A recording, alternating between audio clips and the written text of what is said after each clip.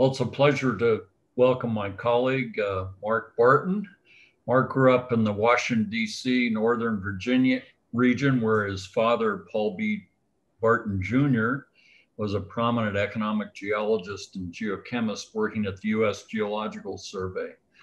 Mark's interest and expertise has always been broad and initially focused on mineralogy and experimental petrology, uh, but focusing from the beginning on systems that were of interest to economic geologists.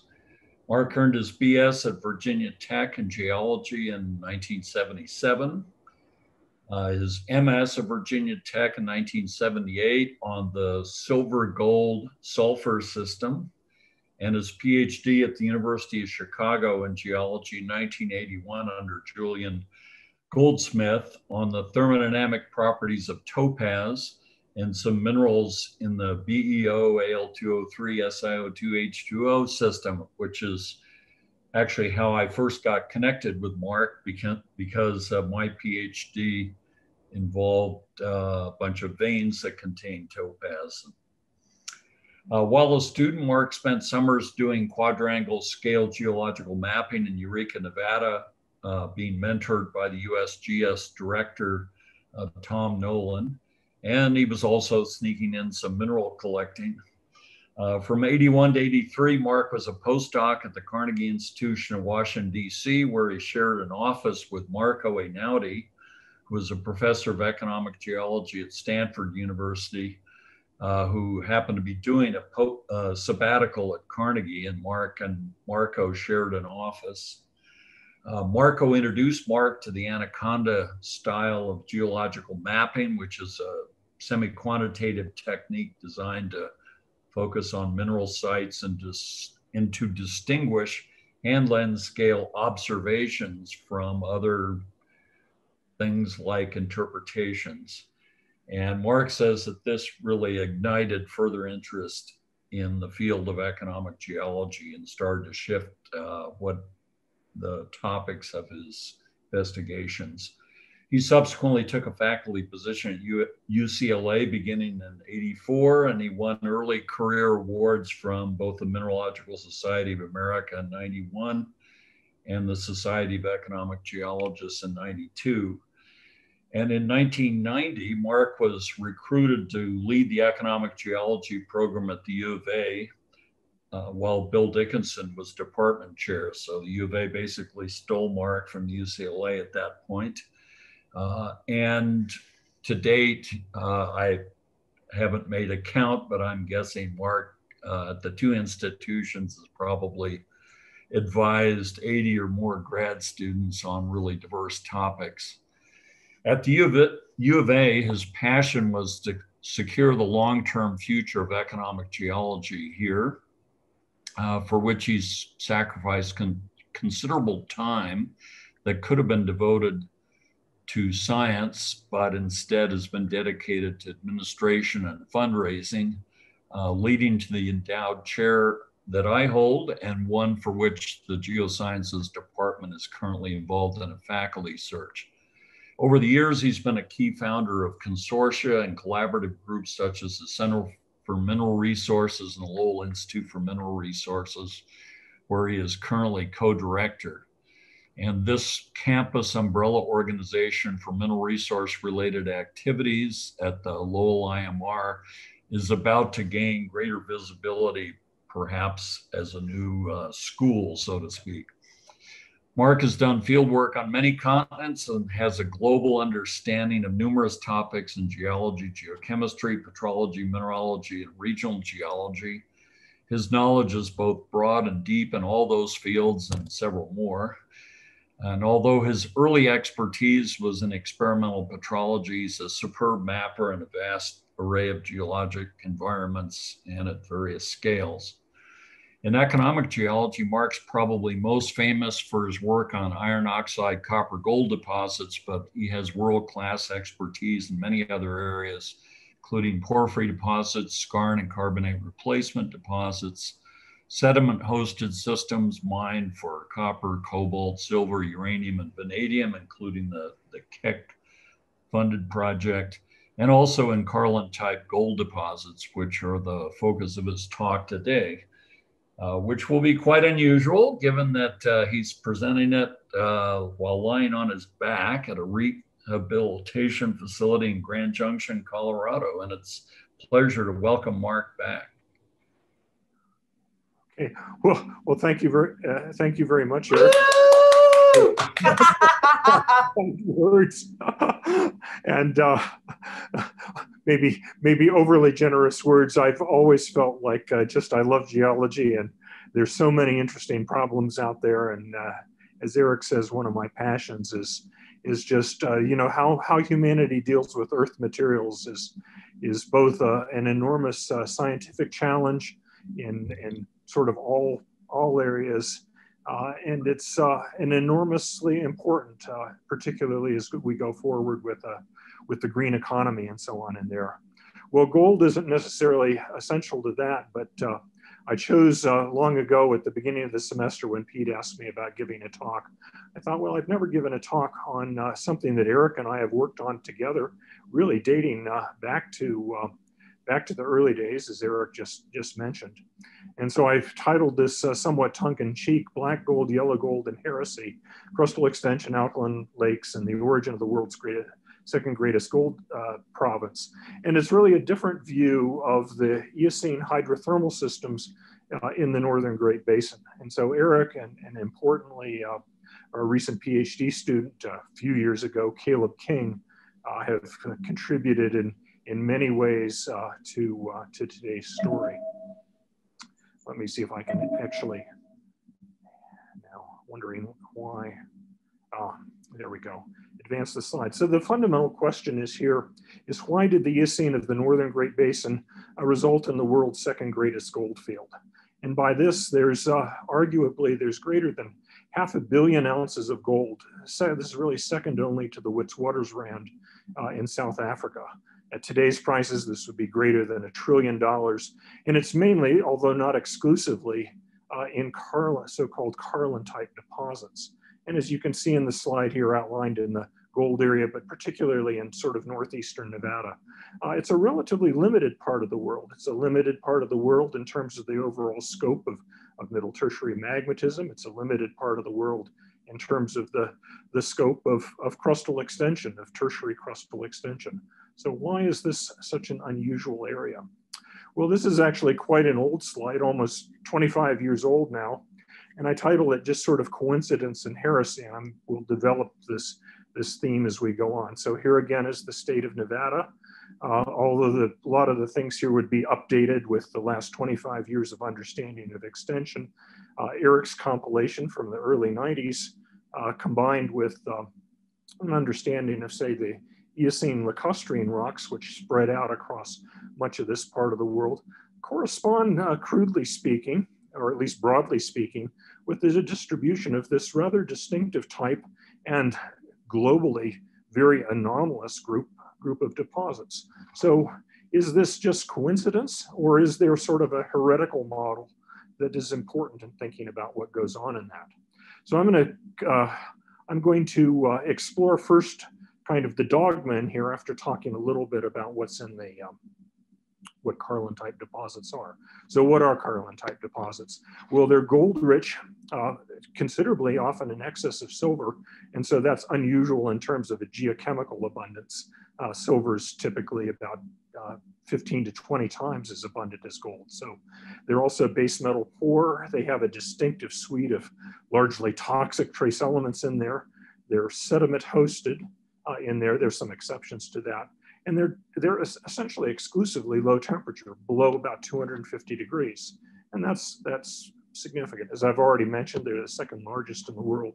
They're recognized as a distinct type only within the last few decades, really since, well, the last half century now, basically since the 1960s and really uh, gained prominent attention in the, uh, in the 1980s. And if you look at the, uh, the plot in the lower right, you can see down here, hard to read the things. This is gold, US gold production, and you can see how uh, Carlin type production uh, up through about 2000 in that plot really dominates US production and has been even more so over the last 20 years. that's in there. They're more or less unique to the Northern Great Basin. And I would argue that uh, their origin is enigmatic and it's, it's a, something we need to think about. So one of my favorite papers, of course, and familiar to many of you is, is uh, T.C. Chamberlin's paper, The Method of Multiple Working Hypotheses. And this is one of the quotes out of it. The explanation offered for a given phenomenon is naturally under the impulse of self-consistency offered for like phenomena as they present themselves. And there is soon developed a general theory explanatory of a large class of phenomena similar to the original one. In other words, it's natural to think that if we have one explanation, it's going to fit everything. But I like uh, the method of multiple working hypotheses. And I, it wasn't until recently I learned about the subtitle in here, which I, I think is really great. With this method, the dangers of parental affection for a favorite theory can be circumvented. So I'm trying to, uh, to avoid parental affection for a theory that actually is one of my favorites and thinking about the scope of ore deposits uh, as I'll develop here in a moment. Oops. So most mineral deposits, just sort of stepping back for those of you who haven't, haven't thought much about these things, turns out they're really emergent systems. And that by that I mean that they're the favorable, but often quite rare sort of coincidence or superposition of very typical geological processes and typical geochemistries that concentrate one or more elements. And different, therefore, different combinations can lead to similar enrichments of elements. And this really leads to the uh, sort of aphorism of gold is where you find it. Well, gold has, uh, as I'll show in a, in a little bit, gold has a pretty well understood geochemistry. And there are a lot of geologic settings where gold can be concentrated if things come together. But world-class occurrences, like the Carlin deposits, are often one of a kind. So the, the sketch diagram down at the bottom sort of illustrates schematically how a variety of things have to come together to make, make a deposit. We need to have some sort of source material. That might be a source of fluids, perhaps favorable ligands in those fluids that would dissolve something needs to maybe be coming out of a rock or a magma or something along the way. We need to have some, some uh, physical process that transports and focuses that type of material. We need to have a favorable depositional site in that. And obviously there's some sort of exhaust as material gets taken through. So without any one of these along the way, we're not gonna make a deposit. If we don't have sufficient volumes of these things or sufficient energy content, we're not going to make a deposit that's in there. So that comes back to thinking about sort of the Carlin type systems and say, well, the geochemistry is pretty common. A lot of the other things are pretty common, but there's something here that's that's rather unusual. So here from a, from a paper that Eric and I did a number of years ago is a sort of schematic cross sections illustrating some of the alternative hypotheses. On the right is the sort of the canonical uh, accepted view, which is that fluids, uh, waters that are um, as a hydrous magma cools uh, are expelled and they, uh, they move generally to down the hydrologic gradient, they cool and and precipitate a whole bunch of things. And, and that's, a, that's a very well established mechanism. Some other mechanisms that may be, uh, may be well established in other areas, but uh, Eric and I have both been thinking about for Carlin type deposits. What I term the heretical views on the left is one, perhaps they're surface derived waters that come down some appropriate um, uh, hydrologic gradient, maybe you're warmed, come down perhaps approximating the brittle ductile transition going back toward the surface, or alternatively, they're metamorphic waters if there's active metamorphism and devolatilization. So here are a lot of, here are some of the possible ways that fluids can move around in the Earth's crust. And uh, without adding any of the geochemistry or the details to it, are all things that uh, have been uh, at least entertained for the, for the Carlin type systems. So magmatic hydrothermal system, so this is the one on the right there, it's a very successful approach. There's an enormous amount of, of compelling geologic evidence in, in different environments. And that includes things like active systems on the left. This is a view of the White Island volcano, which unfortunately killed a number of people last year in a, in a tragedy with tourism there. But the, the idea of that exsolution of, of, of uh, magmatic fluids, aqueous fluids carrying metals can be, uh, can be supported in all kinds of different scenarios. The sketch in the lower left shows um, a schematic uh, illustration, again going back to some classic work on, on these types of things, where the, the inference is that the release of fluids, perhaps analog, broadly analogous to what's on the right, go out and as they cool, the distal portions or cooler portions of those things create uh, the types of deposits. So this is a very successful approach in many environments. It makes many testable predictions. Is it unique or even the best? And uh, so for example, we can start, and I'm not going to go through the diagrams here, but I just want to make the point that tremendous amount of experimental evidence, isotopic evidence, and geologic evidence uh, let us understand what cooling magmatic fluids do. They'll precipitate minerals like quartz, they'll precipitate minerals or uh, metals along the way, they'll change the compositions of the rocks, for example, the more potassium-rich rocks in there, and create uh, the type of thing that we see uh, in not innumerable, but literally tens of thousands of times uh, in, the, uh, in the upper part of the Earth's crust. So we pretty well understand what goes on in magmatic hydrothermal systems. We also understand gold solubility pretty well. In this diagram, which shows uh, pH across the bottom and oxidation state increasing upwards, the, the colored portions of this show that there, there are certain areas in there that that are really very favorable for, for gold solubility. So if we need that transport component of this, uh, fluids of, of certain geochemical uh, ranges are going to be good for transporting gold, but many other conditions would not be. And I just draw your attention to the little red uh, triangle that's in there, which is the maximum in that. And this is this is at sort of moderate or slightly, actually slightly alkaline pHs, moderately oxidized conditions and with a fair amount of, of reduced sulfur in there. And so we'll come back to this later on in um, thinking about what goes on. So in Carlin type deposits, there are of, you know, in, in terms of the uh, sort of the economic geology and, and others who care about these things, I'd say that 90% uh, um, are magmatists. They believe in the, uh, the postulated magmatic hydrothermal origin. And indeed, it's quite, quite elaborate as the figure on the left, which is out of a nature paper, everything from a subduction component and, uh, you know, quite, a, quite an elaborate uh, model that, that gets materials into the upper crust to make, make these types of things. A lot of geologic evidence that shows that at least in some places, there is a, uh, a spatial coincidence with magmatism and, and, broadly speaking, a temporal coincidence with that. So this, this approach or this uh, hypothesis is supported by similar timing, late Eocene uh, that's in there, and the, a common but not universal spatial coincidence. And, a, and I would emphasize a partly permissive geochemistry. Now today I'm not going to get into the details of that. But one of the things it does is it begs the question, well, what's distinctive about uh, the Eocene and north northeastern Nevada.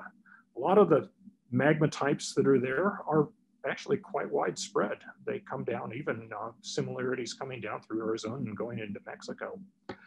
Why is it that the Carlin type systems are actually quite distinct in terms of their spatial extent and um, their low temperature nature from other, other gold systems? And then could we actually test this, this hypothesis by looking at what possible magmatic sources uh, look like? So let's take a look at the, at the magmatic uh, hypothesis here uh, in terms of evidence on it. So starting with the geochemistry, this is, this is from a, a review paper number of years ago, but just shows that from the stable isotopes, so this diagram on the right is, a, is a, the classic uh, uh, hydrogen uh, versus oxygen uh, isotopic uh, plot of meteoric water line coming here along the, the, left side of that, and then data from these deposits. Now, obviously, there's a tremendous amount on there. And one of the key things that, that has been established by careful field work by others is that there is a, a mix of, of, meteoric or waters that are probably uh, surface derived that look here in the lower left that look like maybe mid-tertiary surface waters, but they're also waters that get up into compositions that are much more like uh, magmatic waters.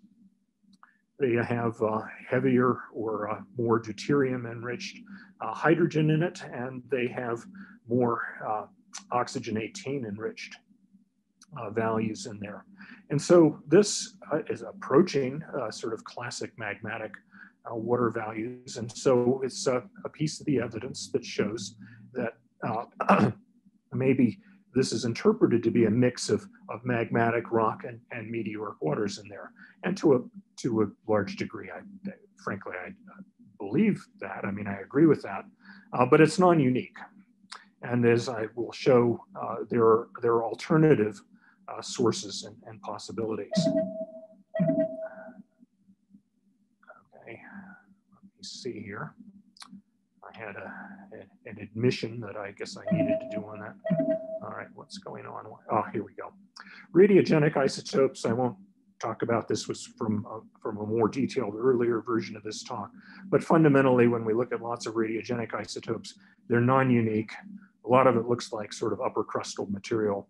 Uh, it doesn't necessarily say where the golds come from, but really the, the key thing in this is that if you're going to apply uh, isotopic tools or many other geochemical tools, we really need to understand what the geology is, and that's where the, the critical mapping and understanding time-space relationships uh, comes into, um, into these studies. So one of the things that, uh, that Eric and I have been interested in over many years is not just to look at a single uh, type of deposit, but really to do that comparison. And this is a busy figure, but the map on the right is uh, east central uh, Nevada with the Utah line would be just over on the very far side. So this is uh, White Pine County, for those of you familiar with Great Basin geography. Uh, town of, of Ely is there, town of Eureka. And the location isn't so important, except that what we have done here is we have systematically looked at uh, you know dozens of different types of hydrothermal systems that are mineralized in different ways. And the explanation on the left, without going through all the details of it, eh, you may notice intrusion related deposits, and there are all kinds of different compositions in there. And indeed, there's a beautiful correlation between different sorts of compositions with the associated uh, metal types in here. This is a great illustration uh, in the you know, the north central Great Basin of where we can look at, at magma types and actually see, yeah, if we, uh, if we take some care and look at this, what's out there, this is uh, this fits very nicely into uh, sort of the canonical magmatic hydrothermal model. And there's lots to learn about it, but uh, feel pretty confident that we have a, a, sense of what goes on. Well, in this same area, there are actually many, many Carlin type deposits, not some of the, the biggest ones. Well, actually some of the very largest ones, probably are pushing 100 million ounces, is just up here in the, in the Cortez you know, range. But I'm going to take a, take a quick look at a couple of these areas and illustrate some of the complexity. So the take home message from this slide, lots of things out there. We need to look carefully uh, at that comparison. Same piece of crust, somewhat different magmas, different times in there. How does that relate or not relate to the, to the uh, different types of, of magmatism?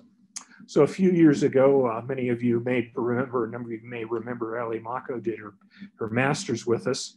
And one of the approaches that we've taken is to use the, uh, the crustal extension, essentially those cross sections generated by mid-tertiary extension, to look at a three-dimensional view of the hydrothermal systems.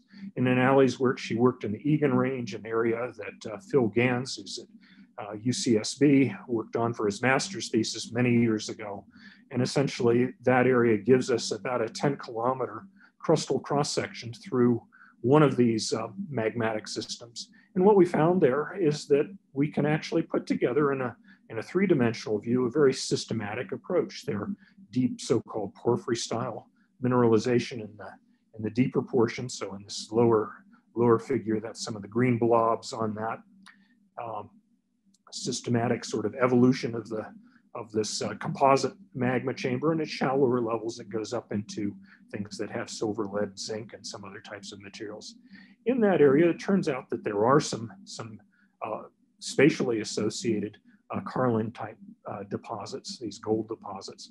So the question is, are they distal or are they unrelated? So here's a place where, where one could you know, come in, we have come in and, and looked at it fairly carefully, and we really can't answer the question. We've learned some interesting, of course, some quite interesting things about it, but it's, it's certainly not definitive in there. Uh, one of the other complexities, this is this is the actually the area I was working with the USGS is a graduate student is the Eureka District. The Eureka District has multiple hydrothermal systems superimposed on it, and those are all the different colors on there, including Carlin type things. It's one god awful mess, frankly. I mean, there's some some lots of really cool things going on and sort of detailed ins insights, but this illustrates uh, what is is often the case. If I wanted to make a case for the relationship of the Carlin type things, I could potentially relate it to an early Cretaceous intrusion. I could potentially relate it to a late Cretaceous intrusion. I could potentially relate it to Eocene intrusions in here. I could potentially say it's unrelated to those types of things. But there are distinctive spatial patterns. So one starts to get the inkling um, in looking at this that that although the all those systems that are related, fluid flow systems related to igneous activity, they have pretty systematic patterns and they have scales of a few kilometers across. The gold deposits are actually structurally controlled. They go along one of the structural highs with a lot of, a lot of other uh, faulting associated with it and extend for perhaps 20 kilometers north-south and are, are basically agnostic with regard to uh, to the magmatic systems that are there. So it's a suggestion. Yeah, you could make uh, you could make the argument there, but there's no compelling evidence to tie these. And indeed, the the difference in the spatial distribution is a is a intriguing, at least, if not a, a you know a, a compelling uh, argument that there's something else going on uh, in in that area. So an exceptional place for this is the locus of Caleb King's masters and PhD systems, and this is the Battle Mountain area. And this is in uh, north central Nevada, the little red spot there in the, in the inset map of Nevada. So it's a major district. It has multiple Eocene intrusive centers with gold and copper. And there's no question that some of the gold and copper is associated with those igneous rocks. Excellent geologic context from a lot of work that's been done there. And Caleb uh, started working on this with support from, from Newmont Mining a number of years ago. He'd come back to school after working for them, and uh, they were interested in doing some, some additional exploration in that. And I'll, I'll come back to some of the things uh, in a moment with regard to Caleb.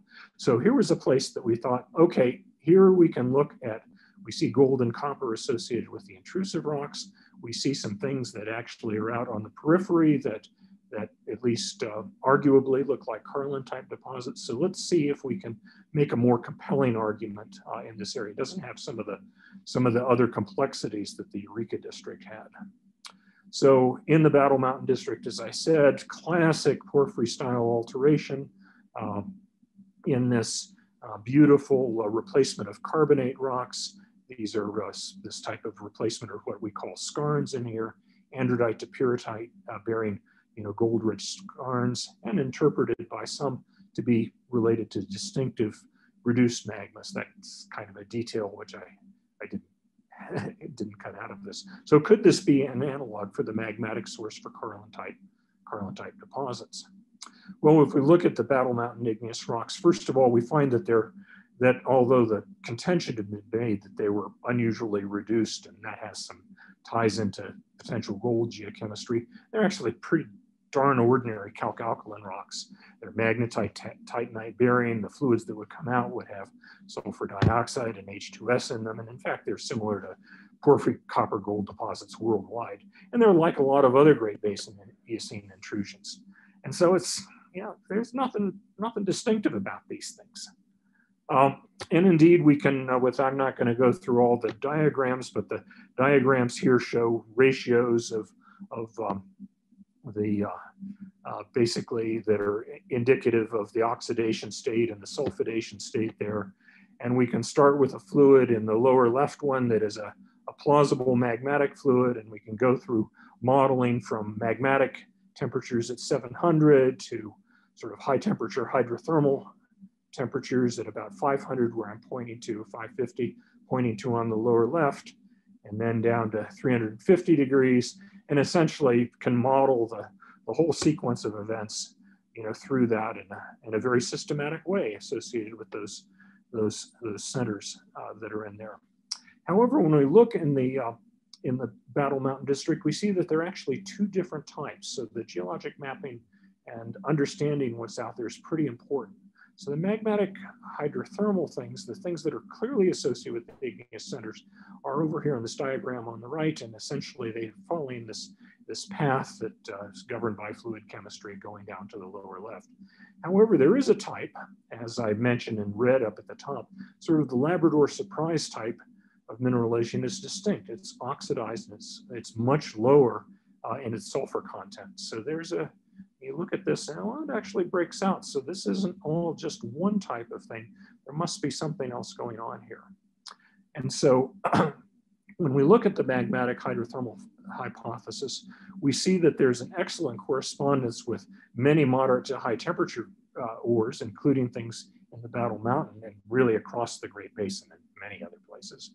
Uh, but it's really equivalent for the Carlin type deposits because it's consistent with, but really not demanded by some of the geological and geochemical evidence. There's no consistent correlation in space with in space with magmas or with magma composition.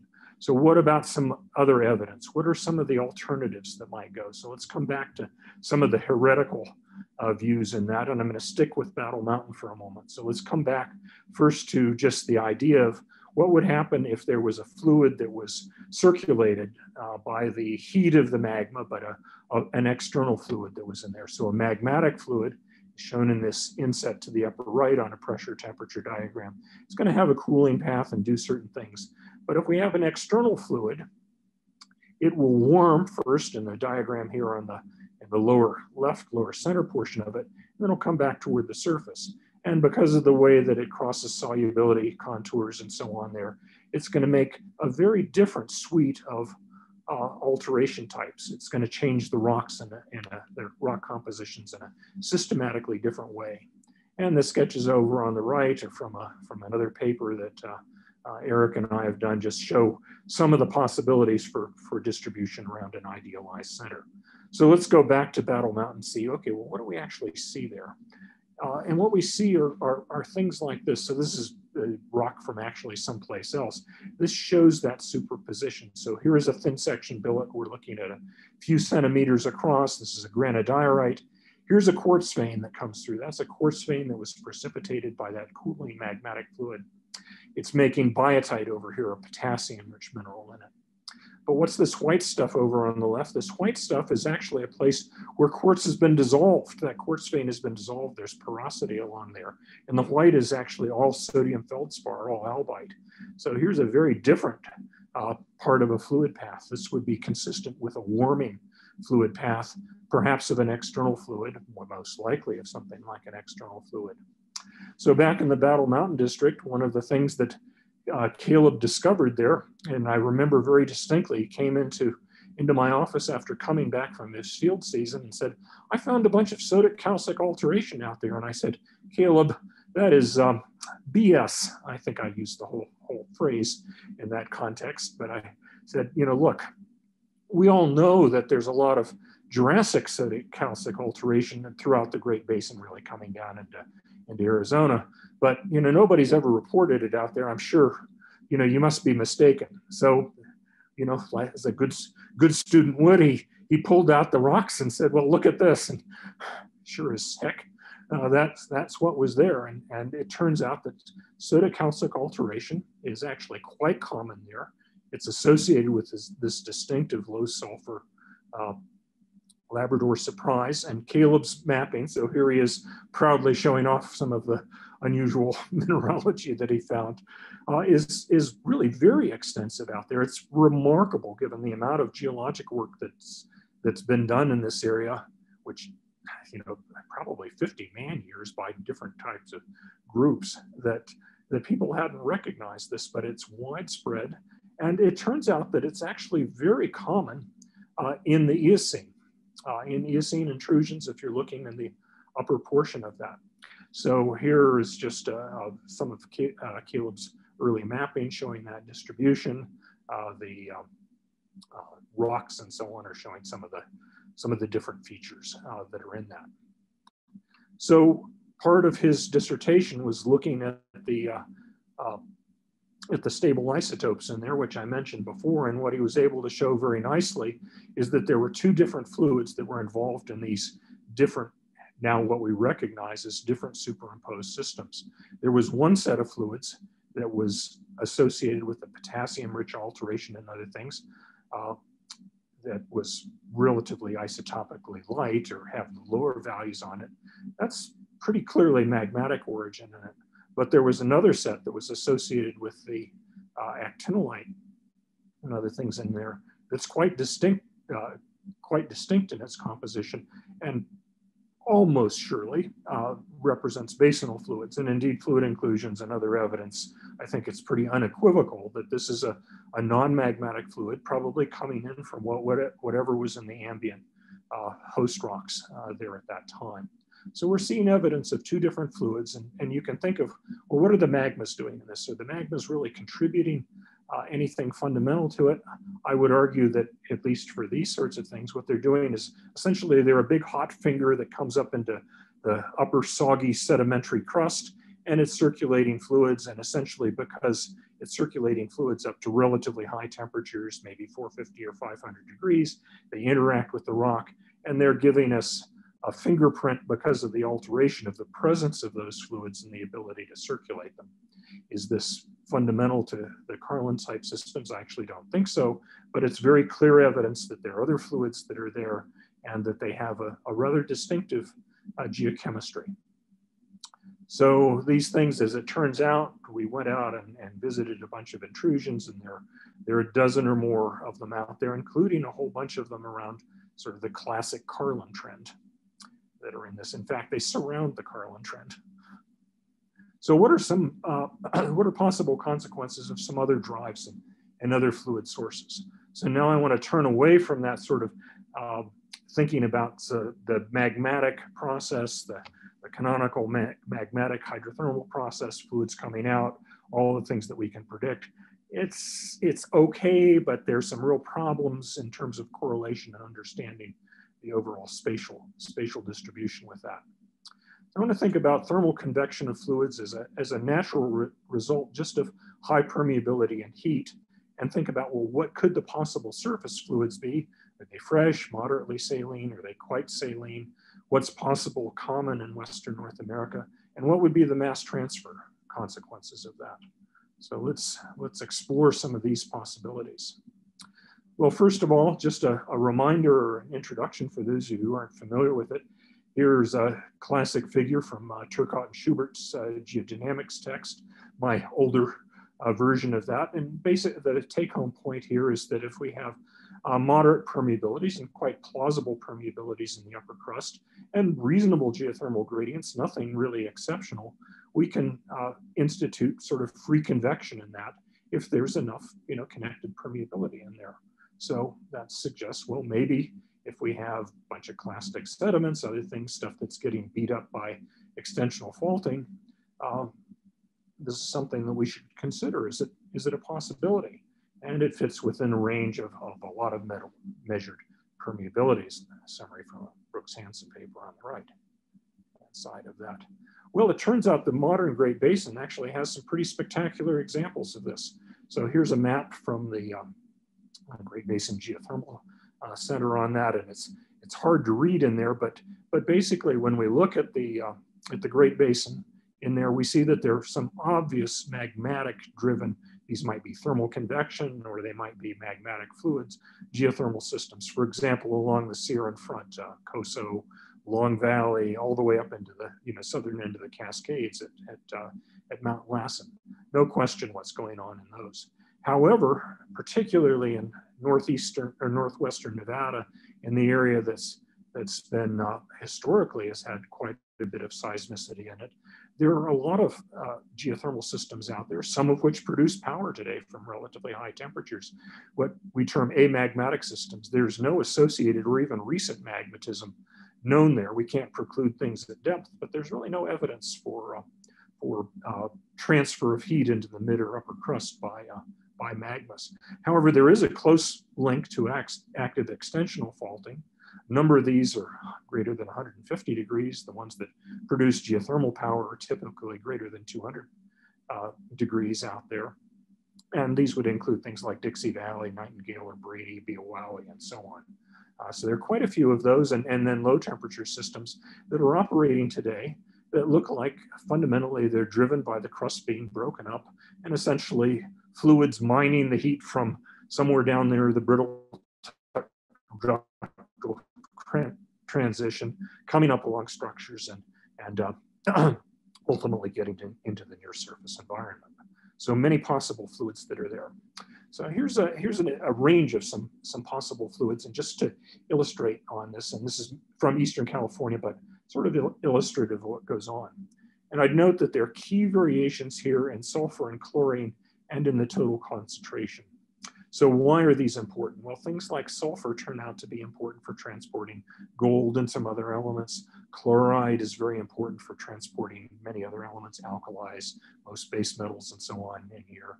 And total concentration, the more, the more of these things we have, other things being equal, the more stuff we can move around.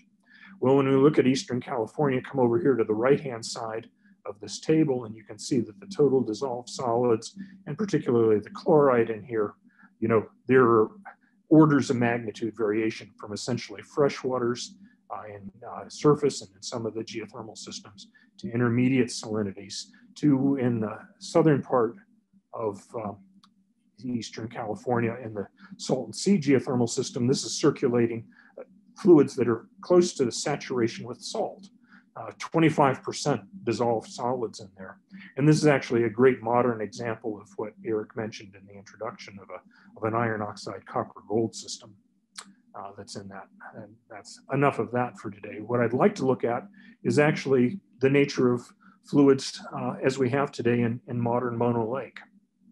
So what are those? So here are, are two, two um, rows in the table, both the, the modern lake system in the upper row that's in there and then the warm springs that are coming out in the lower row. And I just draw your attention to Mono Lake as a classic example of a sodium carbonate, sodium sulfate lake, whereas in the uh, in the Salton Sea down there at the bottom, basically very relatively little carbonate, basically no sulfate in it.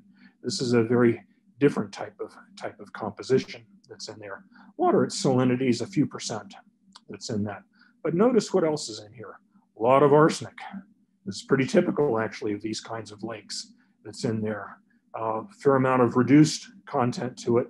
And in the warm spring, quite a bit of uh, hydrogen sulfide that's coming out uh, associated with that. So that's, uh, that's kind of interesting. So what happens when we compare that to Carlin type fluids? Uh, there is the arsenic. And we find out, well, the, from the review papers, sort of the, the consensus, these things are coming out at about, you know, somewhere a few percent um, uh, total salts dissolved in it. Turns out that the, uh, the H2S content is pretty darn similar to the types of uh, contents that are seen in, uh, in, in Carlin type systems or inferred in, uh, in Carlin type systems to, to transport gold. So, well, here's a different kind of surface fluid. What, what might be going on there? What if we look at some of the isotopic data on these types of things and and here I've taken that same diagram but from before. A few years ago on our field course, we collected a sample of water and uh, Dave Dettman, uh, you know, analyzed it for us. And there we are. So it's, um, hmm, well, that's kind of an interesting, interesting composition. And there are a number of reasons why it gets up into that area. And then the Battle Mountain soda calcic alteration that I mentioned before. Well, look where that is. That's that's almost surely external fluids. These things now are starting to bracket that area that people thought was distinctively magmatic. So hmm, curious. So I'd like to step back then and think about these sodium Mono Lake type things, these sodium carbonate, sodium sulfate lakes, which still have a fair amount of chloride in them. They're pretty common in terrestrial environmental, eh, eh, terrestrial environment I don't know, evaporitic environments. They're biologically productive, and, and one of their uh, evidence in the in the geologic record is, is oil shales, and also as, as sort of evaporites. They're widespread in the modern of Western North America, and they're exceptionally abundant in the Eocene of the Western US. And so there are a variety of ways to get to these compositions. So you're in the sort of Eugster and Hardie type of type of um, liquid line of descent diagram. They're, they're one type of, of evaporite that we, we form in, in terrestrial settings. So what is it about exceptionally abundant in the Western US? Well, as, as many of you probably know, the Green River Formation in uh, Utah, Wyoming, and, and, northwestern Colorado is really the world's greatest uh, accumulation of oil shales, and it's and the greatest accumulation of, of these kinds of evaporites. The greatest source of, of trona, economic associative trona of sodium, sodium carbonate that's in there. And these things indeed uh, is spread across uh, northeastern Nevada. They're all broken up now, but uh, and not not in those volumes. But there were many Eocene lakes out there. We've had talks by other people in the past about sort of the hydrology of these systems. But at their low stands, they're making uh, these types of these types of fluids, and that extends essentially across uh, across uh, in many places across northeastern Nevada. Now you might ask the question, reasonably ask the question, well, okay, great, here's where these, these fluids are, but what, you know, there are a lot of places that don't have evidence for that. Now the evidence, of course, could be, could be missing. But another thing to remember about evaporitic fluids is that they have all those dissolved solids in them. And because those dissolved solids, they're more dense, so they're going to displace other waters, and they are in fact going to become part of the uh, of the of the groundwater system uh, in many areas because of that, that physical contrast. So there's one piece. Now let's think about the, uh, the passive margin, the miogeoclinal system. So this is the, these are the framework rocks. So here are uh, uh, classic sort of summary cross-section of the stratigraphy going from, uh, you know, Utah, uh, sort of the, the Wasatch Front on the, on the uh, east side out across uh, uh, into, uh, into central Nevada. So we have the big accumulation of, of the late Proterozoic into the Cambrian clastic rocks and then the increasing uh, accumulation of the dominantly carbonate rocks. Well, in the, the, vicinity of the sort of shelf slope transition, these are largely dirty carbonate rocks. They had a fair amount of iron in them and so on.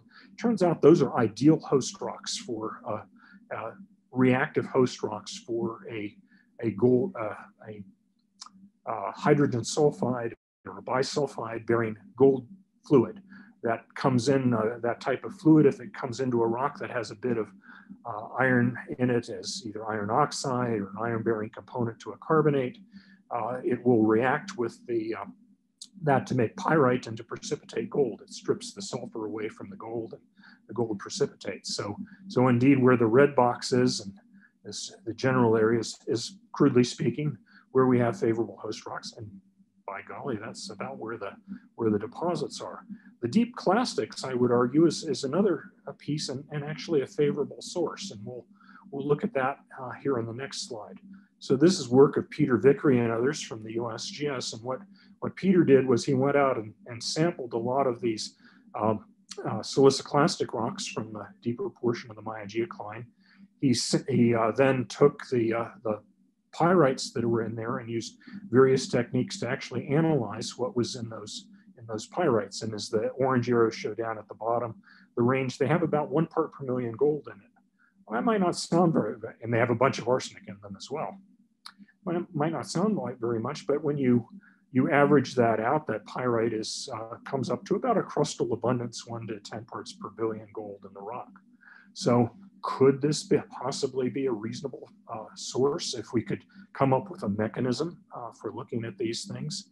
So one question to ask is what would it take to make, you know, a, a truly world-class gold deposit, 100 million ounces? Well, without going through the calculation here, what we find is that we only have to have a relatively low efficiency from reasonable volumes of rock about the footprint of some of these big trends in here to, to source all of the gold that's found in. There's no need for exceptional large volumes or for efficiencies uh, that are in that. So what about the chemistry? Can we, do, does the chemistry fit? So let's think about taking one of those alkaline lake fluids, one of those Green River type fluids or Elko formation like fluids and reacting with pyrite.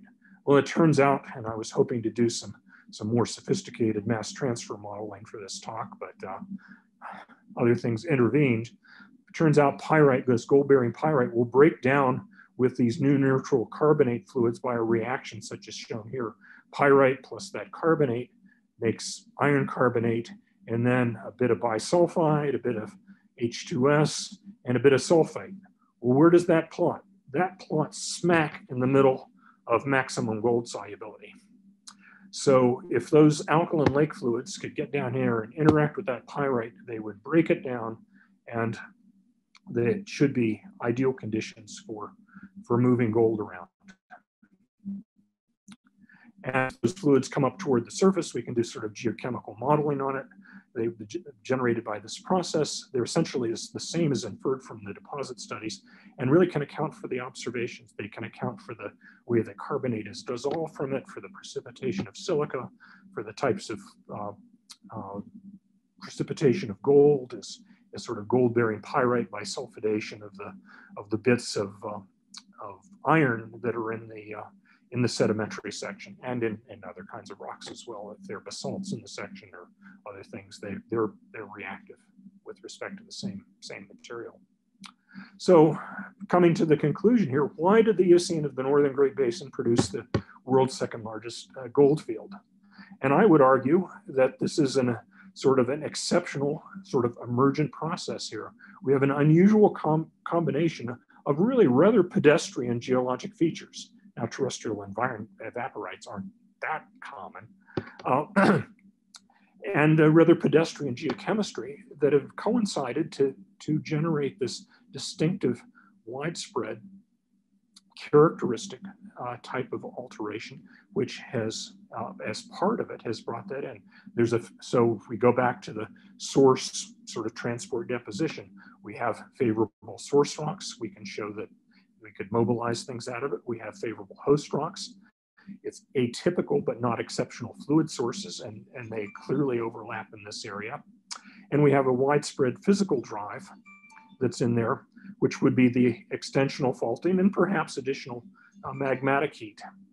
Now my phone is uh, ringing over there, and I'm not going to be able to wheel over and get to it. So forgive the uh, forgive the music in the background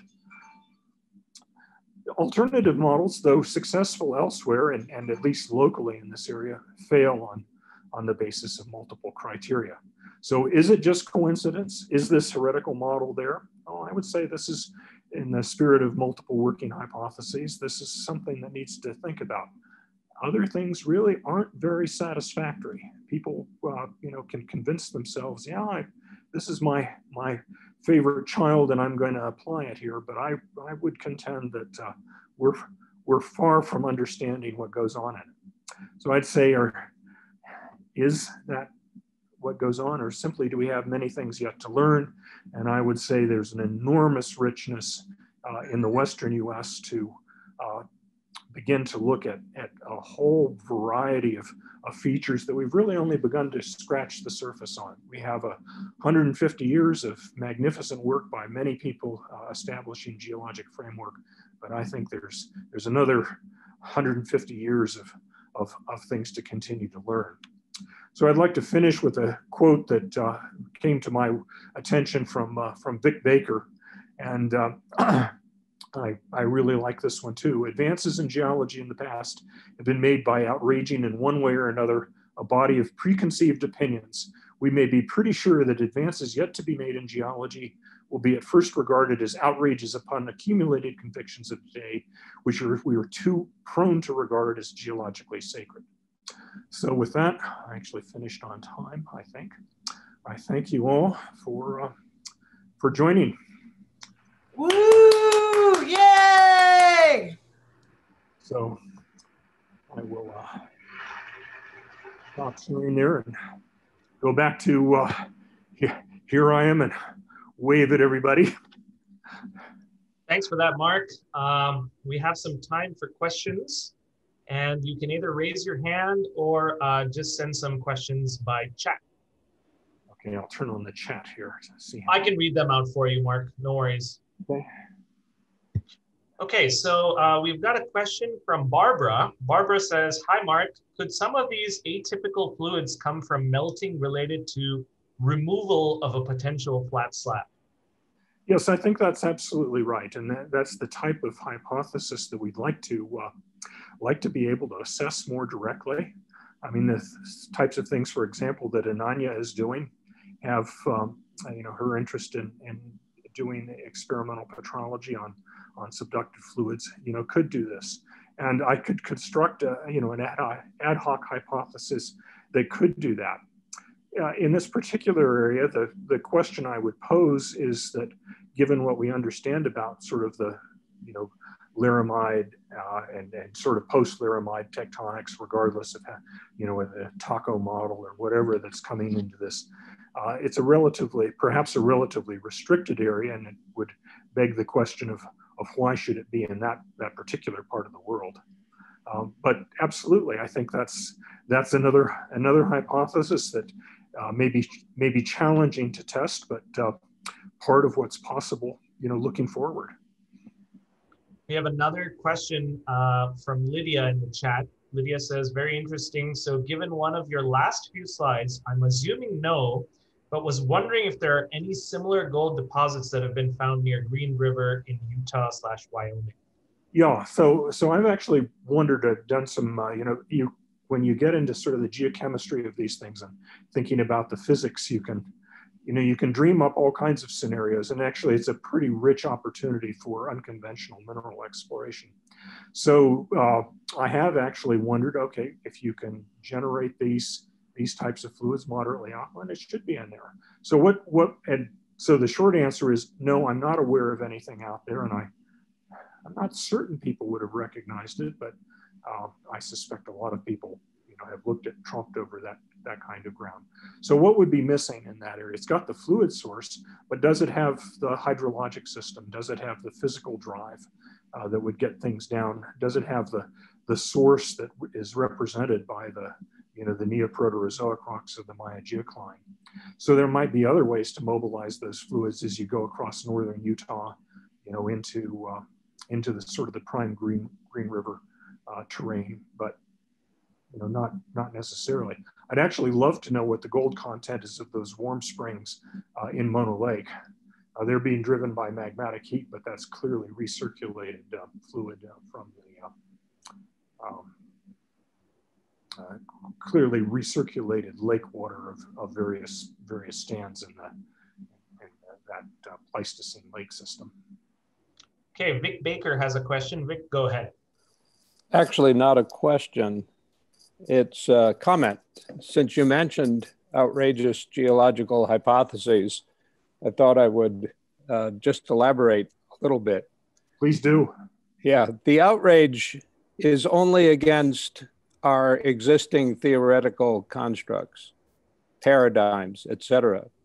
Never do we have the outrage against nature because nature is always what we're trying to figure out. In fact, we're trying to see as geologists what nature is communicating to us, and we often don't get it right. That's why we have the multiple working hypotheses. Yep. And eventually, though, we develop the tools, we develop the insights, we do the testing and the reformulations. And in the end, we find nature's the one that's got the truth. Mm-hmm. So the outrage is only against our fallibilistic waving of hands and the like, trying to figure things out. I, I couldn't agree more. Thank you. Okay, so we have uh, two quick questions from Chris C in the chat. Chris says, near the beginning, you showed two main trends in Nevada. What differentiates the Carlin trend versus Battle Mountain Eureka trends? And the second question is, instead of comparing to Mono Lake chemistry, what about the uh, salars of the Altiplano? I suppose these Eocene lakes uh, would be more akin to those on a high standing plateau. Okay, those are great questions, and I see Pete has some some other follow-up questions in there. So, so I can go on and on about these things. So first of all, to to Chris's question one, uh, they, these trends are things that have been recognized, you know, from early on in there. And I say what distingu- what distinguishes them is just where they are. I wouldn't say that there's anything that's fundamentally different about them. They they happen to be superimposed on you know, somewhat different pieces of, you know, the Cordilleran architecture there. And they have, uh, I mean, there's certainly been a very, very obvious empirical predictive model that goes along with it. And there's been a good deal of discussion. Well, are these areas of, of particular weakness, perhaps inherited from the uh, from the Neoproterozoic rifting, and uh, that has somehow been uh, propagated uh, into this.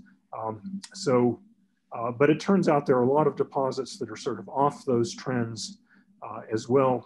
And it's, it's really a, a, question for which we don't have, I think, a, a good answer. Uh, instead of comparing to Mono Lake chemistry, I've been fascinated by the things that have gone, in the, uh, gone on in the Altiplano and thought quite a lot about that. So to my understanding, and I've looked a fair amount at the, at the, uh, at the modern um, uh, hydrochemistry uh, in, the, in the Andes, most of those take a different path than we have in the, in the Cordilleran interior, sort of the Nevada Plano, if you will.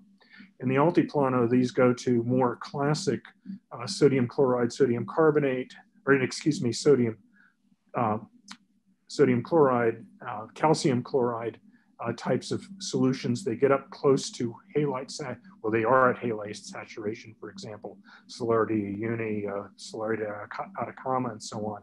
Uh, and when you, um, when you model what would go on in those, you get what's a Salton Sea type geothermal system. They're they're much higher salinity. They tend to have a much higher capacity for base metal transport, sulfur's uh, suppressed and so on in there.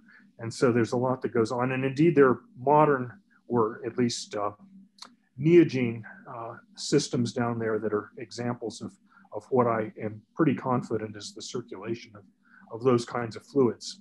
And so to Pete's question, kind of following up on that, uh, Pete, you or Barbara others may know of places where there are uh, these, uh, you know, sodium sulfate, sodium uh, carbonate types of systems that are there. And indeed, I would, you know, that that's the kind of place I'd go look. I'm not aware of any of them, but it's a it's a prediction that would be uh, kind of interesting. It, well, I'd be fascinated actually to follow up on it.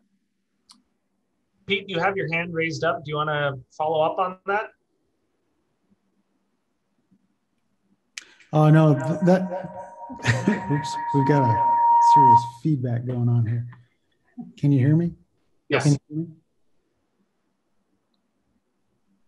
Okay. I'll lower my hand. Yeah, that was a good answer, Mark. Thanks. Okay. Well, if I'd, I'd love to know if, if you guys have some examples, but I haven't been able to find any. Okay, a uh, couple more questions, uh, Mark, if you don't mind. Delighted asks, Hi, Mark, is there gold in any of the core complex footwalls in Nevada? If so, could the fact that they are exhumed from the mid crust provide insight into broader gold genesis? Okay, so that's that's a great question as well. And the, the short answer is I am not aware of any such examples. Uh, Eric might know, he's shaking his head too. Uh, there are actually really interesting parallels though, and speaking of, of footwall on that. So one of one of the things that we've started to look at is go out and say, let's let's take a look. And if this this outrageous hypothesis has some some legs to it, we ought to be able to test things like that. We ought to be able to get down to where we're seeing that brittle ductile transition. We ought to find the roots of this. We should be able to find some of these types of things. Uh, there's certainly uh, isotopic evidence for fluids being circulated down there. That's been known for a long time down to sort of the, the, uh, the footwall types of conditions. Where it is interesting, and, and this is a, a bit of a, of a tangent to it, is we get down into Arizona and um, the, uh, in the core complexes in Arizona, particularly uh, in, in Western Arizona, but coming down right into, into the Tucson area, into the Catalinas and Rincons, uh, you know, there's very extensive evidence for fluid flow, which people have talked about since the, at least back since the 80s. And in those areas, we see uh, a distinctive iron oxide rich mineralization uh, in that. Fluid inclusions in there are indicative of uh, relatively high salinity fluids, and indeed in somewhat younger rocks than a lot of the extension, but in the extension related basins, there's often quite an accumulation of evaporitic materials, more often gypsum, uh, but but halite, at least in three big basins, and the Picacho, the Luke, and the, um, I've forgotten the name of it, the one that's up in northwestern Arizona.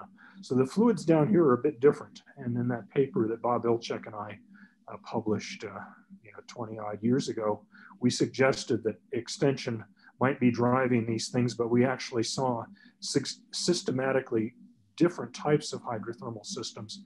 In the north, things more with the Mono Lake types of fluids. And here in, uh, as we get into the southern basin and range, uh, consistent with a different surface environment, these more uh, high salinity, um, you know, iron uh, base metal low sulfur transport systems. So there's a lot of interior, uh, internal at least coherence uh, in the observations, the, the, um, the structure and, the others. And the deposits here in the southern basin range certainly uh, get down and at least are juxtaposed against, and Max Britt, I think, is going to do his master's thesis on these sorts of things. My class this semester is doing a collective uh, project on, uh, on pulling together evidence and thinking about that, that sort of time space in there. So that's, that's, a, that's a long answer, but yeah, looking, looking deeper is a, is a key thing. And, and this is a great part of the world to, you know, to, to address that. Okay, we have one one last question, and remember, there's the class after this where you could, uh, where everyone's welcome to stay back and uh, continue this discussion. But Kyle has a question here in the chat. Uh, do scientific camps outside of Nevada receive these alternative hypotheses uh, more warmly? For example, experts on the Carlin type deposits of Southwest China. Okay, so uh, good question, Kyle. And uh, obviously, the word warmly can be uh, interpreted two ways. so, in both a, a positive or a, a, heated reaction. And I would, uh, I would say that the, uh, the evidence is actually that, um, that there are people, and there, there are a number of people who, um, you know, I've talked to, and we, Eric and I have advocated this over the years, that are, that are certainly willing to entertain these possibilities when we come to things, you know, in China and, and some of the other portions going across Central Asia, there are a lot of a lot of deposits that have been compared. There are things in the Yukon and so on. There are a lot of deposits that have been compared to Carlin type. Well, what what actually characterizes the Carlin type deposits themselves? Forgetting about the broader system. So if you go back to that early diagram that, that I had of source, transport, uh, deposit, and so on, we're just talking about that little red blob what what people are willing to to think about there is they say, okay, well, I've got uh, low, relatively low temperatures, it's sediment hosted, um, the gold is associated with uh, with pyrite that's formed in that. Well, fluids from from the deep metamorphic source, fluids from distal fluids from a magmatic source, all of these things could make could make that. There's nothing special about about the deposits themselves. What's special about northeastern Nevada is it is in probably two orders of magnitude bigger than any of these other things, and it's in that, that part of the world. So one really needs to step back and take a system scale, if you will, a crustal scale, uh, superficial scale, you know, look at that to put them together. So to, to the point of this, I think there are relatively few people who were, who were, you know, uh, swallowed the Kool-Aid on this, but um, I keep adding sugar to it, hoping that, uh, that, that that'll appeal at least to some.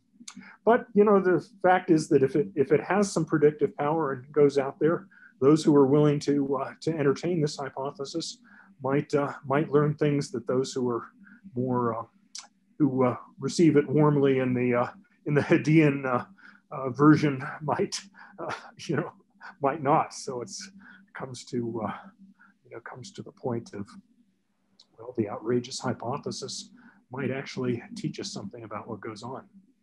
So it looks like there, Ananya has another, uh, has a question here. Um, really interesting. Yes, I totally agree with you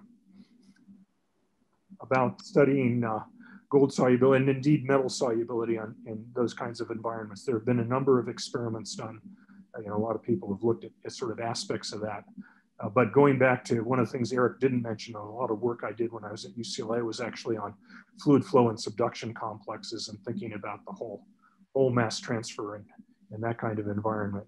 We learned a hell of a lot by actually applying anaconda style mapping to, uh, to the Catalina schist out there, which has uh, probably had 150 papers published on it since we worked there uh, on it.